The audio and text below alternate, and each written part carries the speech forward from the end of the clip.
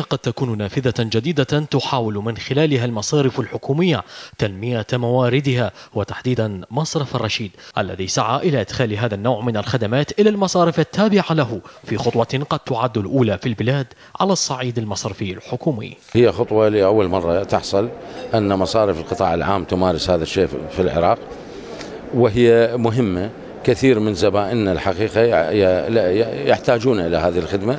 نحتاج بعض الوقت لكي تزيد قدرتنا ونتسع ونكتسب آه، آه، معاملات جديدة وخبرة جديدة. وستضيف الصيرفة الإسلامية ما يزيد على خمس خدمات جديدة إلى الخدمات التي تقدمها المصارف الحكومية. وهو ما سيرفع من عدد المتعاملين مع تلك المصارف في خطوة يرى خبراء اقتصاديون أنها جاءت متأخرة.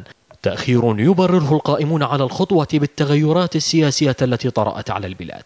هذا التأخر كان يفترض في القطاع المصرفي أن يبادر به منذ 20 سنة. مضت نوع جديد من التعامل المصرفي الصيرفة الإسلامية.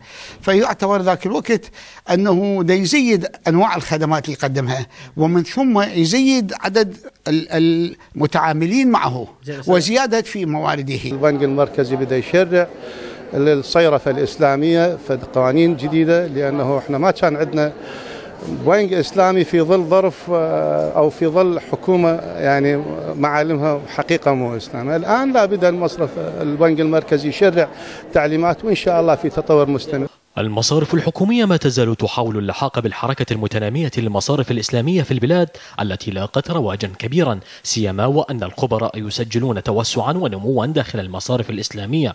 وصل إلى 30% وهو ما قد يوضح الدافع وراء التعامل بالنظم الإسلامية المصرفية. أحمد سمير السومرية.